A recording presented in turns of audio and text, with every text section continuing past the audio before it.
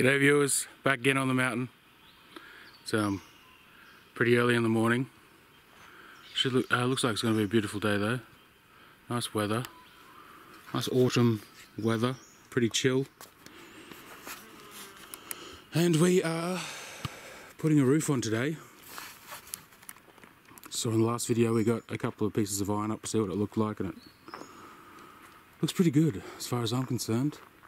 Um, those are some of the larger sheets that we had. It's second-hand steel um, from different sources, just stuff that I've picked up. And um, yeah, those are the first few larger sheets that went up pretty easily. Still got to fix them down. But before we do, we sort of have to organise what we're doing with these smaller sheets. Here comes the old man. The smaller sheets are going to make more of a sort of patchwork roof so we decided that it would be better to um, clean them up a bit fix them together make some longer sheets down on the ground before taking them up and fixing them to the timber structure. So yeah we'll get into that. Have a look see how we go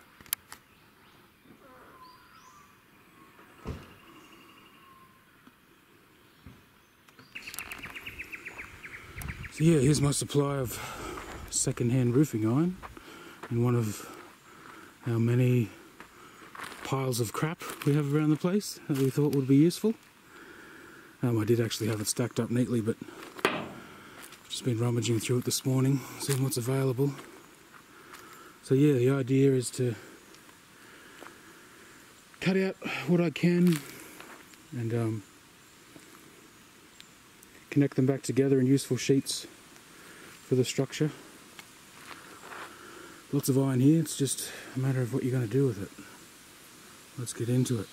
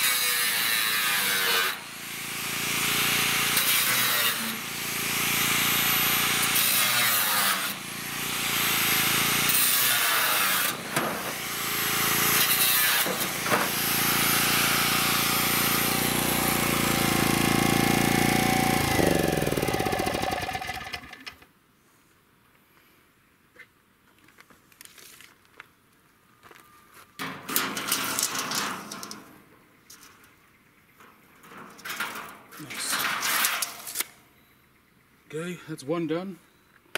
Now to make about 30 more.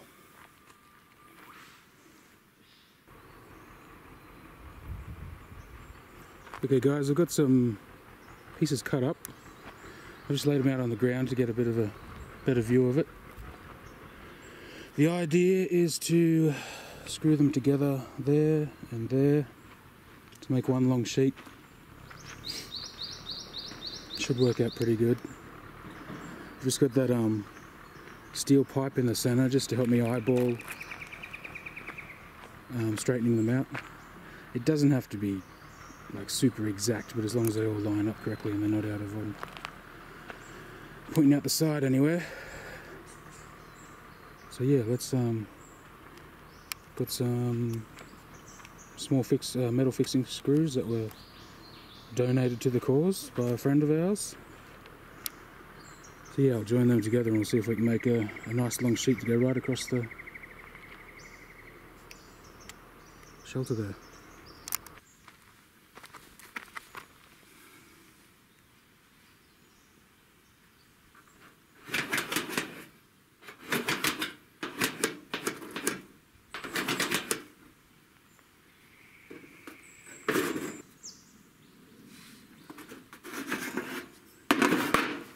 A piece of wood that I've been using as a spacer to make sure the the two rows of screws are the same distance apart for every join.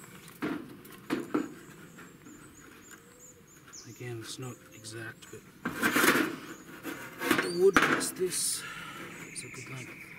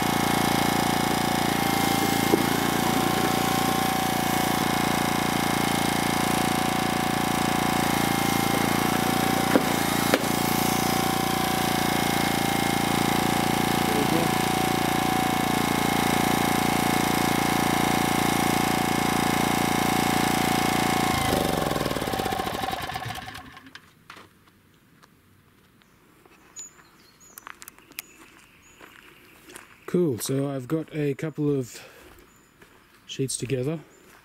I've laid them out here, you can see what I'm trying to accomplish now. There's a full span sheet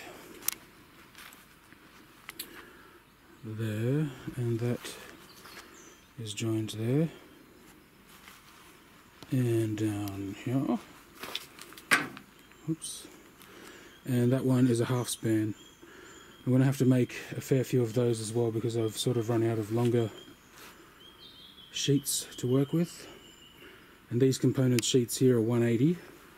So three will give me a full span with a little bit of overlap. These ones are 140. So with a little bit of overlap, they'll give me half span sheets and they'll meet on that middle rafter there. But that'll be fine. Probably easier to work with even. So yeah, I'm going to keep working for the next few hours, cutting up more of this second-hand iron and um, fixing together sheets, half lengths and full lengths when I can. Then the old man will be back down in a couple of hours. I think he's up making a log lifting attachment for his bulldozer, welding something up. So yeah, I'm going to keep going making these sheets and we can get some more up this afternoon.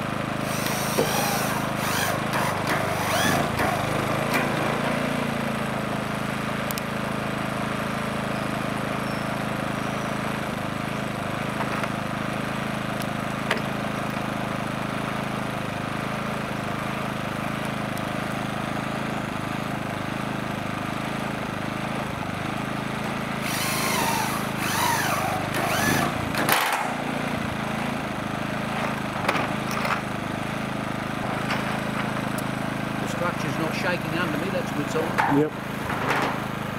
Feel pretty solid, does it? Yeah, it does. no diagonals in it yet Mm. either. Not too bad for something we pulled out of our butts.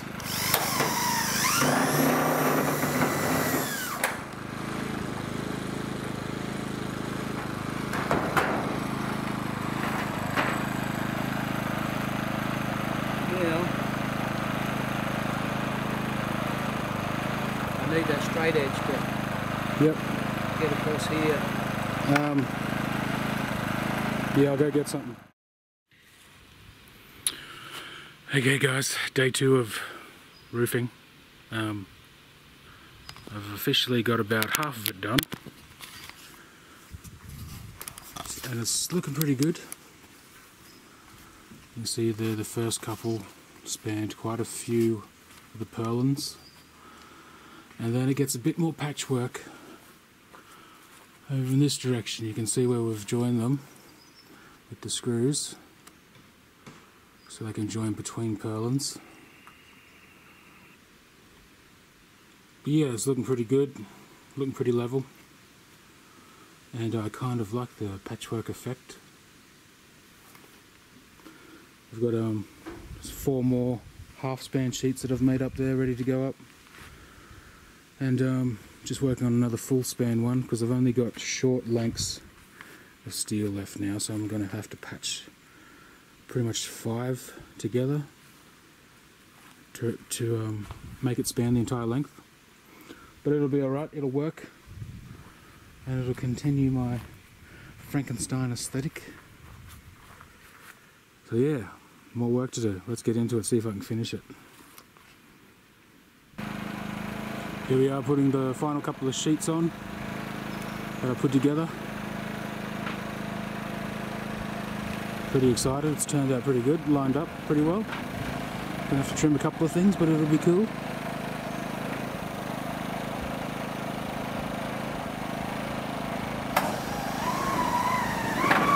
I'm not sure whether I will trim the front and the back. I kind of like the way that it looks. Yeah. It is what it is. It's made out of spare parts. It's a bit rough around the edges, but it's functional. That was the entire goal. Let's see, I haven't decided yet.